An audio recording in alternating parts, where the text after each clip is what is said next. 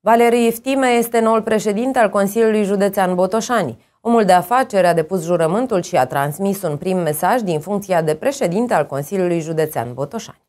Din cei 33 de consilieri județeni, doar 28 au mandatele validate, iar la ședință au fost prezenți 27, care au depus jurământul. A lipsit Lucian Trufin, cel care a pierdut alegerile pentru funcția de președinte de Consiliu Județean în fața lui Valeriu Iftime. După ce au depus jurământul, cei 27 de consilieri județeni au urmat Valeriu Iftime, care a transmis și un mesaj celor prezenți în sală. Nu sunt în cea mai eh, confortabilă situație din viața mea, în sensul că partea asta, încărcătura asta oficială mă, mă pune într-o gardă specială și mă gândesc că lucrurile pe care, care trebuie făcute cu adevărat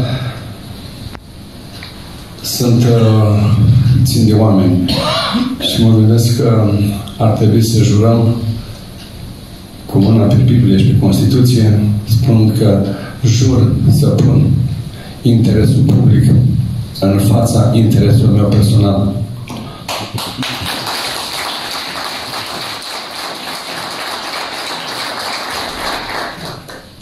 Când țin, când țin mâna pe Biblie, parcă ceva mă încălzește sincer. Pentru că cred că legătura noastră cu Dumnezeu se face astăzi prin, sau nu, fac un jurământ, legătura cu Dumnezeu o face și prin această atingere a, a cărții Sfinte.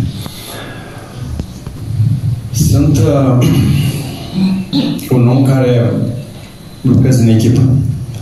Eu sunt uh, o, o realitate în business românesc după 30 de ani să ai aceeași asociație. Să pornești când nu aveai nimic, să ajungi să, fii, să fim patru ani mai bogați, să, fim, să fim la de prieteni. Din acest, cu aceste principii, cu acest principiu, cu această stare mea de, de om împăciuitor, vreau să mă înțelegeți că am nevoie de echipă.